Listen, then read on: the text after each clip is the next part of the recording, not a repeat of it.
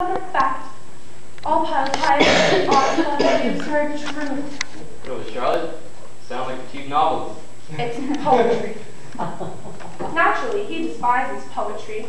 He despises all art, because art is the act of climbing to the top of that ridiculous wall of his, to stand on the ledge, peer out into a cruel and pointless world, devoid of meaning, where fact is merely fiction, and anyone with any courage at all would simply leap off the edge and be done with it.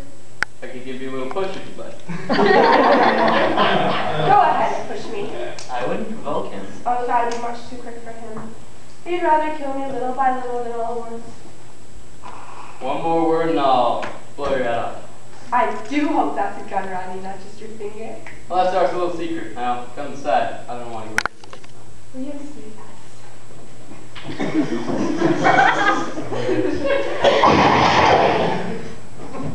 Was that gunfire? Uh, I don't. Was somebody gunned down or what?